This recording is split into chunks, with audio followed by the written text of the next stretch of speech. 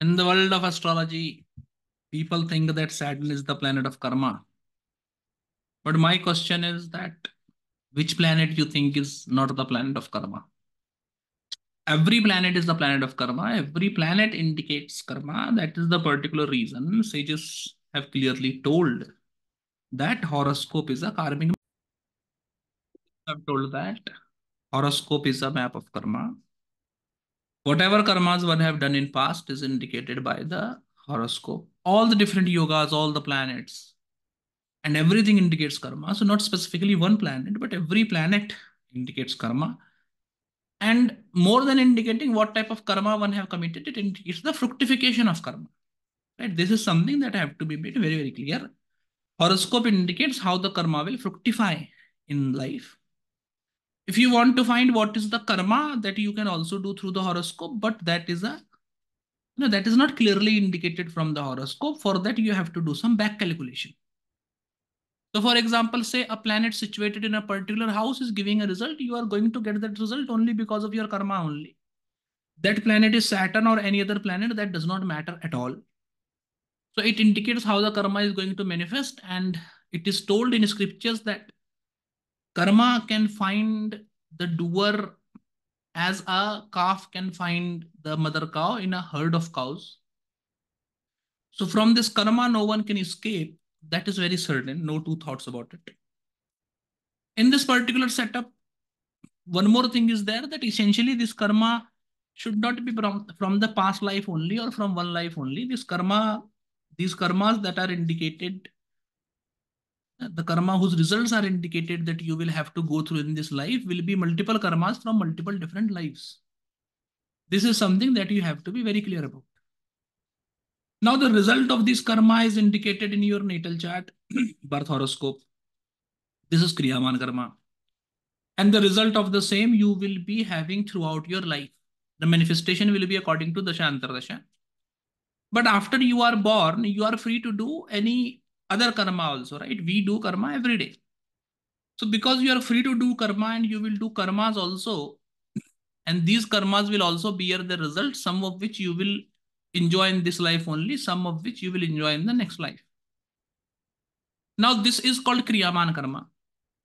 And by the way of this Kriyaman karma, either you can enhance the result of the past life karma, Prarabdha karma, or you can decrease the result of past life karma, prarabdha karma. You can increase or decrease both good karma and bad karma. If you do good karma, then the result of good karmas increase, bad karmas decrease. If you do bad karmas, then the result of bad karmas increase, good karma decrease.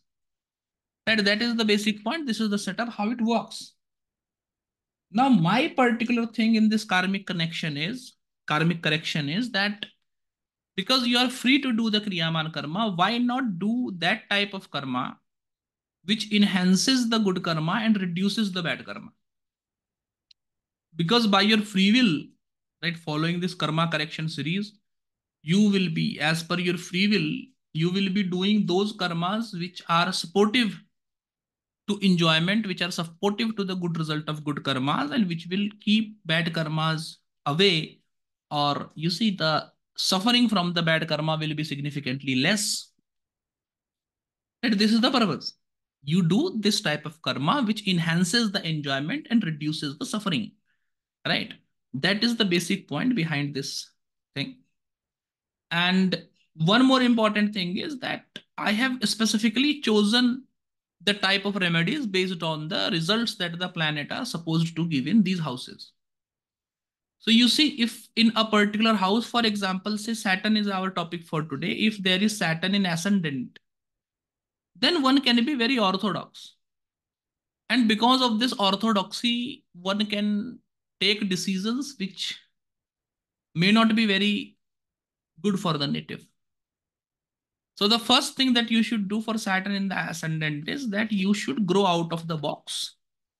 You should incorporate modern innovative thinking right? And suitable changes to the traditional concepts should be done at least for yourself. Only then it will be good otherwise not. In the same line you should also make your own path. While dealing with people, right? While having opinion about things, one should do this, one should do that, while advising people or while behaving in society, you have to take a non-orthodox modern approach.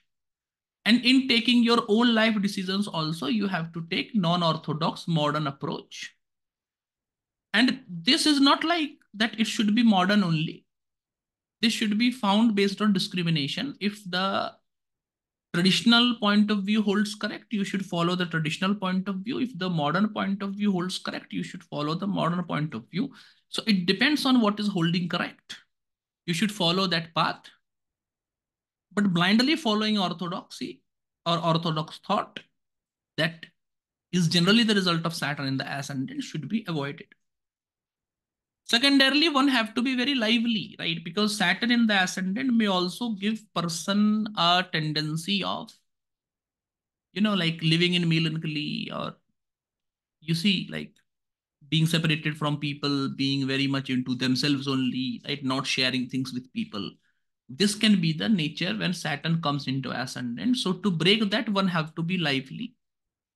One should become a person in whose company others enjoy right? So like as I have told you with these two examples, in the same manner, you can do other exam other examples also. You can do a backstory calculation regarding the result of Saturn in different houses as well. And as I have been doing, I will be telling you the telling you the karmas, karma that you should do to get the optimum result of Saturn throughout the houses in the video. The third thing is with Saturn in the ascendant, you should be, you should not be unapproachable. It's not like you should be easily available for everyone. That's not the thing, but at least connecting to you, talking to you, opening up in front of you should not be problematic for people. Should not be problematic means one can easily contact you, one can easily spend time with you, make arrangements for that. Point one. And secondarily, they should not be afraid that if they tell you something you will let other people know about it or you know you will judge them right this thing should not be there so these two things also you should do other than that one should with saturn in the ascendant one should avoid lures right one can be lured into competition, show off, and other such things. We should be avoided. Self control over emotions, thoughts, words should be practiced. And whenever possible, with the best of your knowledge, you should guide people in what they should do. In this guiding, you should keep in mind that you should talk about only those things that you really know about and don't tell your assumptions to people, but only talk about experience and after properly thinking. If there is Saturn in the second house, you should be careful about your words, what you speak, right? What type of advice you give to people and all of these things. Try not to criticize people or talk bad about them. Specifically by the practice of meditation and having good company, reading thoughtful books, reading positive books, you should also avoid negative thoughts. And if possible, for some hours or for one day a week, you should practice silence also. Saturn in the second house, you should always be truthful, should always speak truth. That will be very good for you. Don't purchase old property. That if you have inherited some property, then it is good. But other than that, an already built, already constructed home should not be purchased. Always try to purchase a land and make property yourself. Over dependence on family will be problematic. So try to be the one whom on whom the family is dependent on. And don't depend on your family. Having much expectations from your family, even expectations of love, support is not going to be fulfilled as such. So be careful about it. Another thing is you should wait for things to happen. You should not be impatient. And you see, because many a times with Saturn in the second house, what may happen that one may not get the right opportunity or right option, right? The options in front of the native, one may feel that these are, you know, like these are For example, job options. One may feel that this is not suitable according to my experience or the pay is not enough. So one should wait for the right option to come. One should not take bad decisions hastily. Point one. Secondarily, in the matters of things such as profession, waiting too much can be problematic also. So leaving job, joining a new one, applying for a new one should be done with proper planning. That will be the best setup. Whenever possible, one should try to donate money to temples, priests, and anyone who is worthy of donation. If there is Saturn in third house, one should have an habit of writing. You can write on social media, you can write blogs or whatever, but have an habit of writing and write without prejudice. Generally, writing to educate people, writing to, you know, give knowledge to society, writing to break dogmas is very good. Specifically with Saturn in the third house, one should try to promote those good people who do good work but are not recognized, right? One should take people and their opinions to the society through their writing and other things that they can produce. That will be one of the greatest remedies. Along with that, with Saturn in the third house, one should try to maintain a good relationship with their siblings and whenever possible, gift something to your sibling, whatever you can easily gift that you should gift to your siblings. Right? Your siblings should feel grateful of having you. Play outdoor games. Right? Before producing child, before having a child, be well prepared. Don't have a child until and unless you are financially secure, professionally secure, and mentally matured. Otherwise, it will be problematic. While studying something or you know interacting with people, first of all, one should be discriminative with Saturn in the third house. You cannot follow everything. Everything cannot work for you. This is something that should be very, very clear in your mind. And a rigorous practice of studying at one hour every day, two hour every day, but with discipline should be in your life. That will be good. Specifically with Saturn in the third house, one should spend open-heartedly and should not try to save money, should not be a miser. That will be good. With Saturn in the fourth house, the first thing you should do is you should have you should have chastity and follow ethics and morals in relationships. Take care of your mother whenever possible, give her gifts. To your enemies you should not give pain to your enemies. See they are inimical to you. You will do competition. You will do things to go above them. That is very good. But personal hurt or giving pain to enemies should be avoided. Professional rivalry as much as possible should be kept aside. A good routine of waking up early in the morning sleeping uh, early in the night right? Having a punctual, well-maintained life is also very necessary. And giving donations or doing things for diseased people and for hospitals will also be very good with Saturn in the fourth house. If Saturn is in fifth house, then in that particular scenario, once again, you should have children only after you have got financial professional stability and have good mental maturity. Before that, don't have children. Otherwise, this Saturn will be permanently damaged and will give bad result. Do not give pain, trouble, or other problems to people of opposite gender. Try to help them as much as possible. In relationships, one should maintain boundaries. Extramarital affairs and flirting, etc., is not at all good with Saturn in the fifth house. Right? And not only in relationships even in not only in you know like spousal relationship only even in professional relationships and all other type of relationships one should maintain you know maintain their own limitations and should also tell others like one should have one personality to whom for example many times what happened to your office colleagues you are very friendly you go to their home also they come to your home also and this good type of relationship is there. This is not suitable with saturn in the fifth house. Right? If you are working in the same same office then your work should be professional only. You should not become personal. So such boundaries you should draw and you should keep it in mind. Otherwise it will be problematic. The expenditure of money should be done conservatively. Overspending is problematic.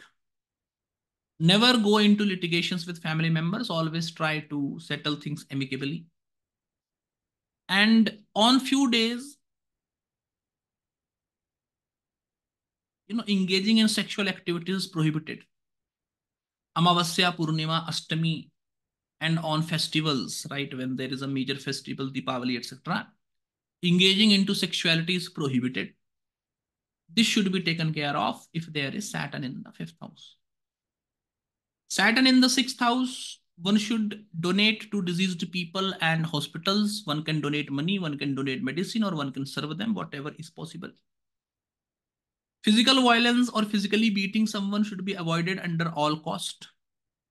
Negative thinking and sadism should be avoided under all conditions. And people who are weaker than you, either financially or societally or whatever, don't say bad words to them. Don't fight with them. Don't yell at them.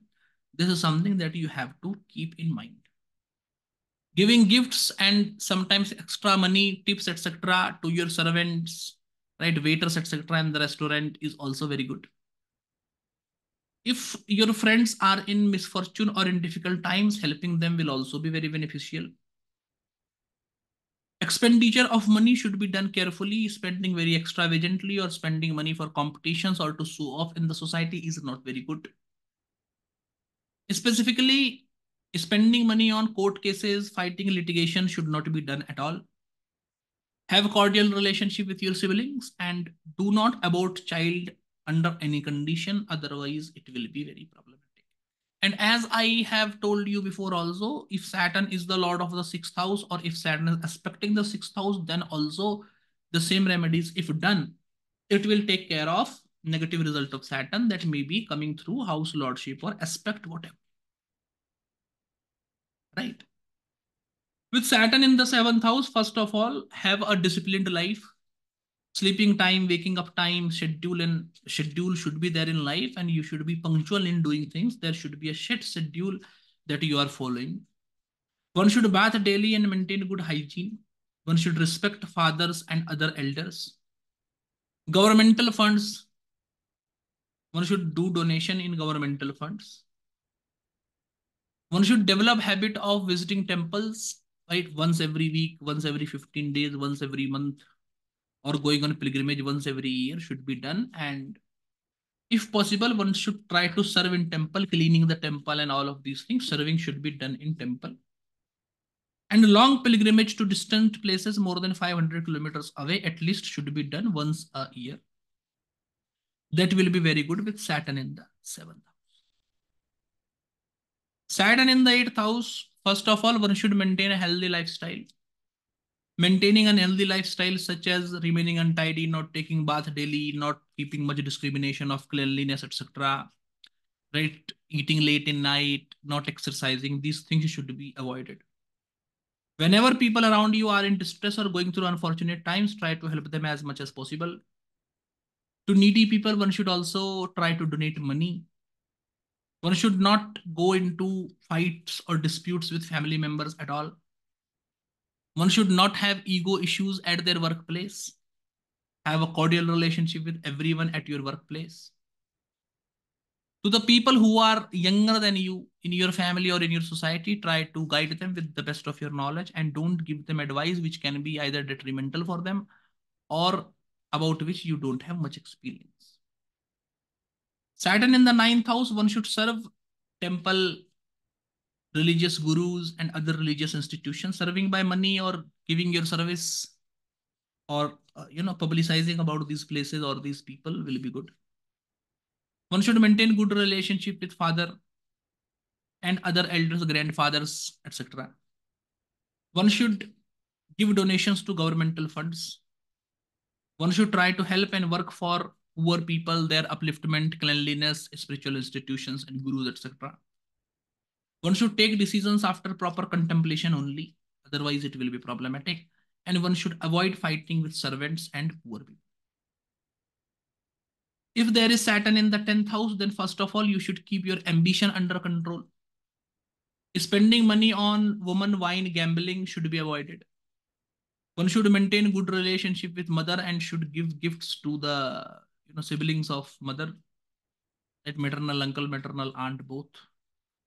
Don't purchase an old property except for the property that you may inherit. It is always better to purchase land and then make property over it. Keep your home and your surroundings clean. Respect people of opposite gender and one should upkeep the family dharma.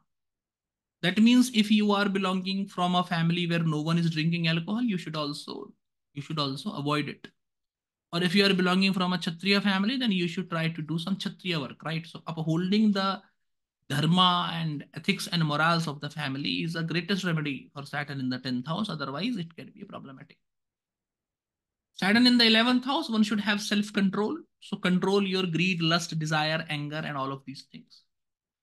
One should maintain discipline and purity of thought. One should guide people whenever they can. And one should not make statements about things regarding which they don't have much experience or knowledge about.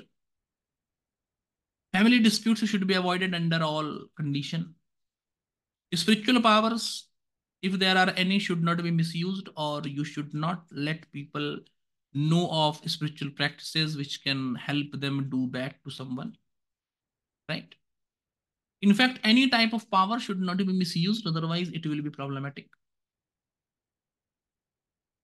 Physical violence with younger people, children, etc., or with a spouse will be very problematic.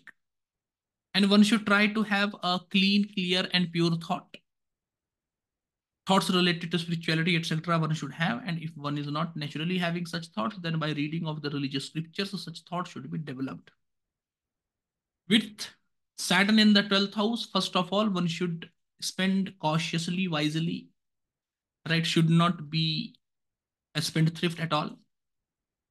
Spending money on bad things, woman, wine, gambling, in you know, in competition, show off, etc., should be avoided with Saturn in the 12th house, don't have affair in office at all. Never, don't have affair or relationship with any of your professional colleague as such. With family members, cordial relationship should be maintained under all cost. Work should be done by yourself. Don't, you know, don't make others do your work. Whatever is your work, even if you are the boss of the company, if you come to the office with a bag, try to you know, take your bag with you only and do not let peon or other staff do it for you. If possible, one should get initiation and remain connected to a spiritual institution, should have a guru and should follow the guru. This will be very good if you are having Saturn in 12th These things related to Saturn you will do. And in one, one and a half year, you will see that slowly, slowly your life have changed for better. And your condition what it was before you started doing the remedy and what it is now have significantly changed. So do this and feel the change for yourself.